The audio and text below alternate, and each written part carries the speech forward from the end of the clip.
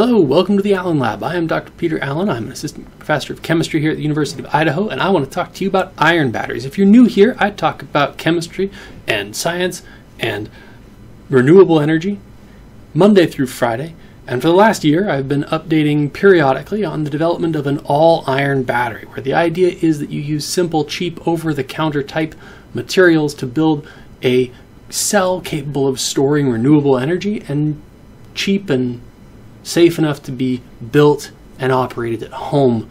So I'm excited about this because iron is really, really cheap.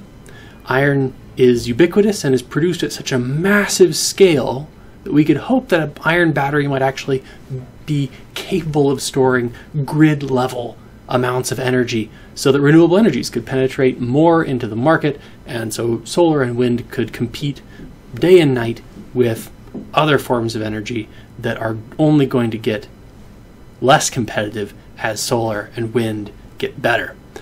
I work with two graduate students here in the Allen Lab. They usually work on projects in microfluidics and diagnostics, but here they are learning to use the electrochemical instrument that lets us test the iron battery. So the battery my student was holding there was not theoretical. We've been charging and discharging this battery for hours and hours, and you can see it charged 1.2 volts, then rest at about 0.6, and finally discharge back to about 50 millivolts. That is actually really reproducible. We've been doing that for many, many cycles, and it holds fairly stable. I would really love for an undergraduate to get involved in this research and start building batteries, learn how to characterize them, and build a really cool open source plans document so that anybody could build one of these batteries if they wanted to, whether that's at scale for storing renewable energy or just at little size for educational purposes.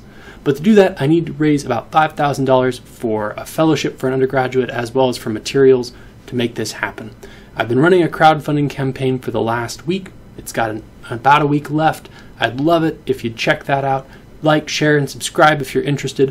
One way or another, I'm going to make Uh, one video per week for the next year describing how these batteries are working and the developments in the Allen Lab I hope you'll subscribe and see all that happening. And if you're interested in this kind of thing, I hope you'll check out that crowdfunding campaign. Share it with people who like renewable energy, batteries, science, and hopefully we can make this happen for an interested undergraduate. Thank you very much for watching, and we will see you tomorrow.